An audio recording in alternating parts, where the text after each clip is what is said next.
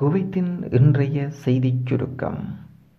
குவைத்தில் இராணுவ வாகனத்தை திருட முயன்ற இளைஞன் கைது செய்யப்பட்டிருக்கின்றார். காவல்துறை அவனை பிடிக்க துரத்தும் ஆங்கில படத்தை மிஞ்சும் காட்சிகள் வெளியிடப்பட்டிருக்கின்றது. இந்த சம்பவம் குவைத்தின் ஜஃபர் அல் அலி பகுதியில் நடந்துள்ளது. சம்பந்தப்பட்ட இளைஞர்கள் குவைத் குடிமகன் வயது இருபத்தி ரெண்டு என்பதும் கண்டறியப்பட்டுள்ளது. குவைத்தில் சில மிட்டாய் வகைகளுக்கு உணவுத்துறை அமைச்சகம் தடை விதித்திருக்கின்றது.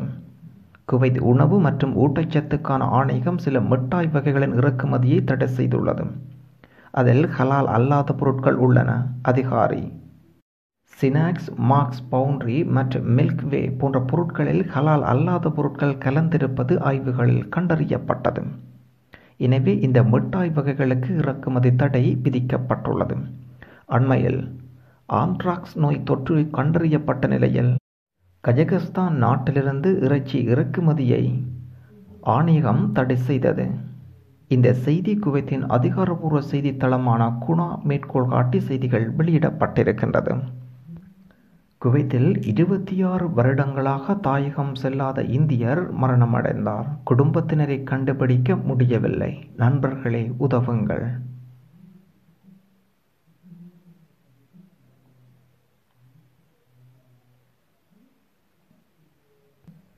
குவைத்தில் இந்தியா மற்றும் இலங்கையைச் சேர்ந்த இருவர் தற்கொலை என்ற துயரமான செய்தி ஒன்று கிடைக்கப்பட்டிருக்கின்றது. குவைத்தின் அல் அப்துல்லா பகுதியில் முப்பது வயது இந்திய பணிப்பெண் ஒருவர் தன்னுடைய குடியிருப்பில் தூக்கிட்டு தற்கொலை செய்து கொண்டார் என்ற துயரமான செய்தி ஒன்று கிடைக்கப்பட்டிருக்கின்றது.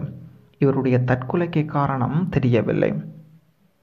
ஹத்தன் பகுதியில் இலங்கையைச் சேர்ந்த நபர் ஒருவர் தன்னுடைய அறையில் தூக்கிட்டு தற்கொலை செய்து கொண்டார் என்ற செய்தியும் வெளியிடப்பட்டிருக்கின்றது. இதில் இலங்கை நபர் கடந்த சில நாட்களாக கடும் மனம் அழுத்தத்தில் இருந்திருக்கின்றார். தகவல் முதல் கட்ட விசாரணைகளில் கண்டுபிடிக்கப்பட்டுள்ளது. இரண்டு சம்பவங்கள் குறித்து வழக்கு பதிவு செய்த போலீசார் உடலை கைப்பற்றி பிரீத பரிசோதனைக்காக அனுப்பி வைத்தனர். இந்த தற்கொலை செய்து கொண்ட இந்திய பணிப்பெண் மற்றும் இலங்கை பணிப்பெண் தொடர்பான பெயர் விவரங்கள் வெளியிடப்படவில்லை. இந்தியாவின் வெளியுறவுத்துறை துணை அமைச்சரான முரளிதரன் அவர்கள் நாளை குவைத் வருகின்றார். இந்திய வெளியுறவுத்துறை துணை அமைச்சர் முரளிதரன் இரண்டு நாட்கள் சுற்றுப்பயணமாக நாளை மறுநாள் ஞாயிற்றுக்கிழமை பதினான்கு ஒன்பது இரண்டாயிரத்தி பத்தொன்பது குவைத்திற்கு வருகை தர இருக்கின்றார். மறைந்த முன்னாள் இந்திய வெளியுறவு துணை அமைச்சர் சுஷ்மா சுவராஜ் அவர்கள் வருகையின் போது கடந்த அக்டோபரில் இந்திய தொழிலாளர்கள் பாதுகாப்பு குறித்து குவைத் இந்திய ஒப்பந்தத்தில் கையொப்பம் இட்டதும் இங்கே குறிப்பிடத்தக்கது. இந்த ஒப்பந்தத்துக்கு இந்தியா பாராளுமன்றத்தில் அனுமதி கிடைத்துள்ள நிலையில் முரளிதரன் வருகையின் போது இந்த ஒப்பந்தம் நிறைவேறும் என்று தெரிவிக்கப்பட்டுள்ளது. கடந்த மோடி அரசின் ஆட்சியில் மறைந்த இந்திய வெளியுறவு துணை அமைச்சர் சுஷ்மா சுவராஜ் துணை வெளியுறவுத்துறை அமைச்சர் வி கே சிங் மற்றும் எம் ஜே அக்பர் ஆகியோர் குவைத்துக்கு வருகை தந்ததும் குறிப்பிடத்தக்கது.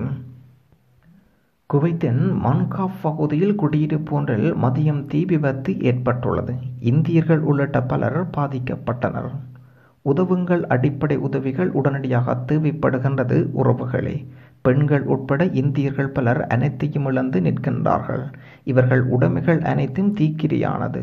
ஒரு தளம் முழுவதும் தீக்கிரையானது என்று செய்திகள் தெரிவிக்கின்றன. அவர்களுடைய முகவரியை தருகின்றோம். மாங்காஃப் எம்ஏஎன்ஜிஏஎஃப் கத்தா நான்கு தெரு இருபத்தி நான்கு கட்டிட எண் நூற்றி இருபத்தி ஒன்று. குவைத்தில் இன்று ஓட்டுநர் கவனக்குறைவினால் ஏற்பட்ட பயங்கர விபத்து. இந்த விபத்தில் ஏழாம் நம்பர் சாலையில் ஏற்பட்டுள்ளது. இதில் ஓட்டுநர் சிறிய காயங்களுடன் உயிர் தப்பியிருக்கின்றார். இதையடுத்து சம்பவ இடத்துக்கு விரைந்து வந்த போலீசார் உடனடியாக லாரியை கைப்பற்றினர் ஓட்டுநர் சிரியா நாட்டைச் சேர்ந்தவர் என்று கண்டுபிடிக்கப்பட்டுள்ளது. இது தொடர்பாக வழக்கு பதிவு செய்து விசாரணைகள் துவங்கியிருக்கின்றது.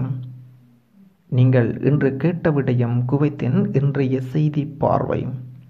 நன்றி. மீண்டும் இன்னும் ஒரு குவைத் பற்றிய செய்திச் சுருக்கத்தில் உங்களை சந்திப்போம். தகவல் குவைத் தமிழ் பசங்க ஃபேஸ்புக் லக் பேஜ்